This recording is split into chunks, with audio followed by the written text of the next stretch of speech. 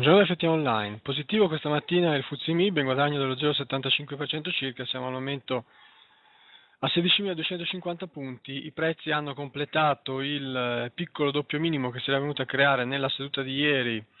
con la base attorno ai 16.000 punti e con un eh, limite superiore eh, posizionato a eh, 16.235 circa eh, se la mh, mm, figura verrà confermata con movimenti al di sopra dei massimi odierni che si collocano intorno ai 16.330 punti, diventerà possibile un movimento di rialzo verso 16.005. Solo la mh, mm, ricopertura completa del gap rialzista di questa mattina con la base sui 16.150 costringerebbe invece a considerare negato il, la figura rialzista, il doppio minimo e eh, si aprirebbe in quel caso il rischio di un test di area 15.750 almeno. Questa mattina da seguire con attenzione Eni, in rialzo del 1,21%, siamo a 13,38 euro. Già nelle ultime due sedute si era venuta a creare una situazione potenzialmente interessante con questo piccolo eh, doppio minimo, un tweezer bottom formato appunto dalle candele del 2 e del 3 di agosto. Eh, la candela del 3 di agosto tra l'altro è un um, doji, quindi formata da eh, ehm, apertura e chiusura praticamente coincidenti. Il doji si è venuto a creare in prossimità del forte supporto dei 13 euro dove, si, dove troviamo il 50% di ritracciamento del rialzo dai minimi di febbraio, oltre che eh, i minimi di maggio e i minimi di giugno. La tenuta dei 13 euro e eh, la rottura del massimo di due giorni fa a 13,42, quindi livelli sui quali sta insistendo in questo momento il titolo, lascerebbero sperare in una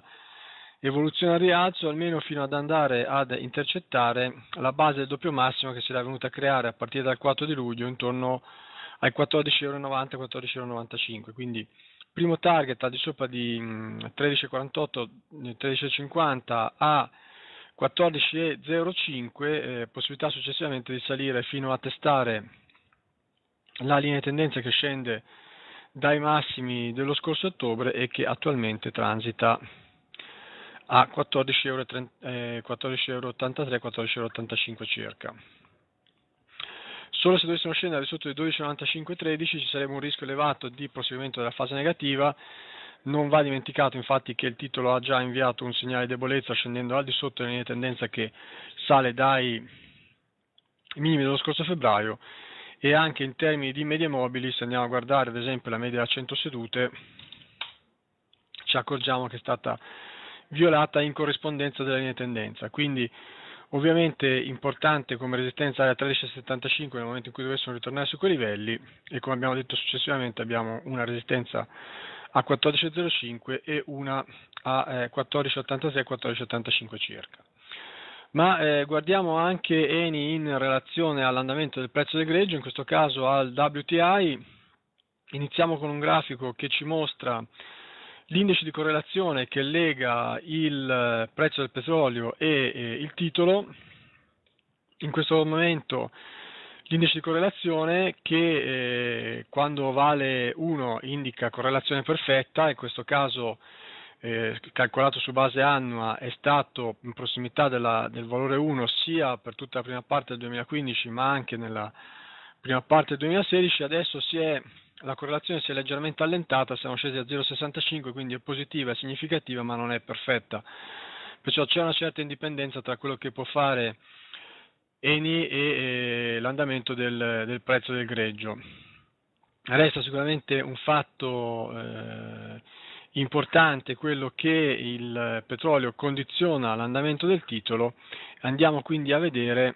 quali sono le prospettive sul eh, sul greggio. Il WTI ha messo a segno un bel rimbalzo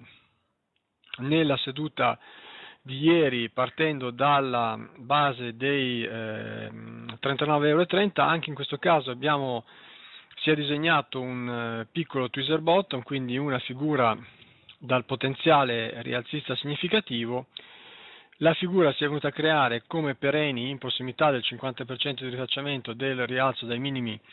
di febbraio, quindi un supporto solido che potrebbe anche sostenere un tentativo di reazione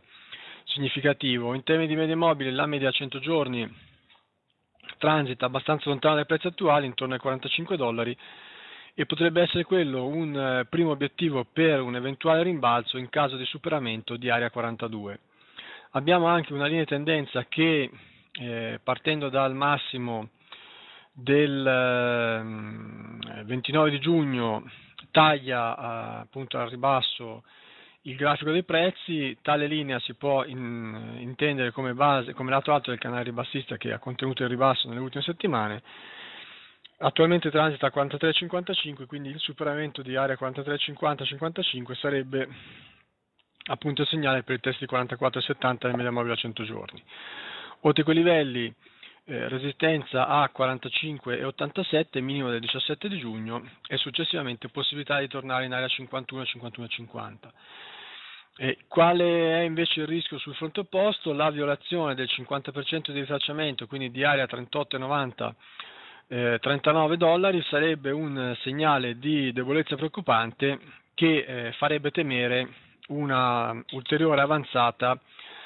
eh, verso area almeno 35-80. Vediamo la media mobile 200 giorni che è un indicatore significativo per eh, capire l'andamento della tendenza del medio-lungo periodo, in questo momento è stato riattraversato al rialzo dei prezzi, ehm, la media era indicava una situazione di ribasso alla media 200 giorni ormai dal lontano luglio del 2014, aveva funzionato molto bene come resistenza nel corso della fase ribassista, una volta superata il rialzo ad aprile di quest'anno, i prezzi se ne erano allontanati, la discesa che c'è stata è servita come una sorta di return move a toccare nuovamente la media dall'alto, il fatto che ne siamo già ritornati di sopra è un ulteriore elemento che depone in favore di un tentativo di rimbalzo che le quotazioni del greggio potrebbero mettere a segno nel corso delle prossime settimane. Condizione questa che ovviamente sarebbe, come abbiamo visto, data la correlazione tra i due strumenti, un evento ovviamente favorevole anche per l'andamento di Eni. Eh, vi ringraziamo per l'attenzione, vi diamo appuntamento domani con il nostro consueto commento giornaliero e vi auguriamo buona giornata.